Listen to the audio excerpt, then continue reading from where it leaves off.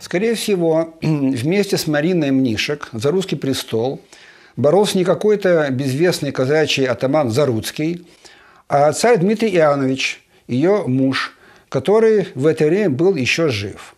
Однако Романовы, конечно, не могли признать, что они на самом деле воевали с законным русским ордынским царем. Они объявили, что они вели борьбу с казачьими войсками. И для этого заявили, что их вождем был некий Заруцкий, при котором всего лишь была Марина Мнишек. Возможно, действительно, в войске Дмитрия был некий Таман Заруцкий, который воевал вместе с ним с Романовыми. Но потом, когда историки Романовых вычеркнули имя Дмитрия, осталось только имя Заруцкого, рядом с ним имя Марины Мнишек. Когда войска Дмитрия и Марины были разбиты, Романовым удалось расколоть казачий союз. Законный царь вместе с семьей бежал на Яик. Но там они были схвачены романовскими войсками и привезены в Москву. С семьей последнего русского царя династии Рюриков узурпаторы престола Романовы расправились не менее жестоко, чем с Годуновыми. В 1614 году был казнен царь Дмитрий. Его заговорщики посадили на кол. Как умерла Марина, доподлинно неизвестно. По одной версии она была повешена, по другой утоплена. Еще говорили, что она была заточена в круглой башне Коломенского Кремля, где безвременно скончалась. Конечно же, Романовы не пощадили и маленького сына Марины и Дмитрия Ивана. Мальчик был законным наследником престола – и его никак нельзя было оставлять в живых. Четырехлетнего ребенка Романовы публично повесили на Спасских воротах Кремля. Эпоха смутного времени стала не только началом нового этапа русской истории, началом правления новой царской династии на Руси.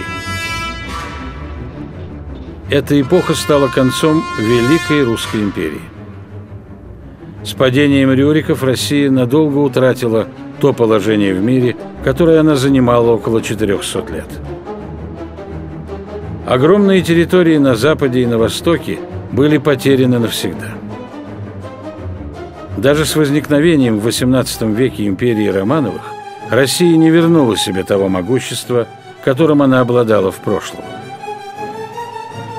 В ее истории началась череда войн, внутренних расприй – противостояние между частями единой когда-то империи.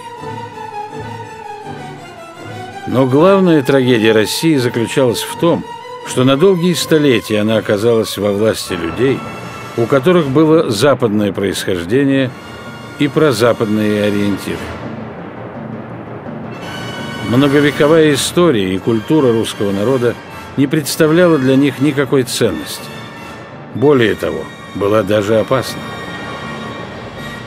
Будущие потомки и в России, и за ее пределами не должны были знать ни подлинной истории Древней империи, ни правды о людях и событиях, ее разрушивших.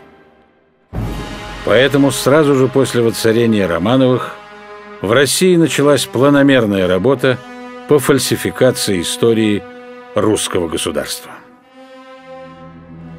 Сочиняя новую версию мирового исторического развития, Романовские подручные уничтожали все, что этой версии не соответствовало.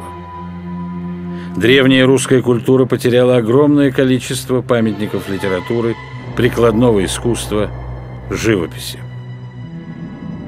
Были уничтожены уникальные архитектурные сооружения. Разрушен весь вековой уклад жизни русского народа. Об этом смотрите в нашем следующем фильме «Первые Романовы».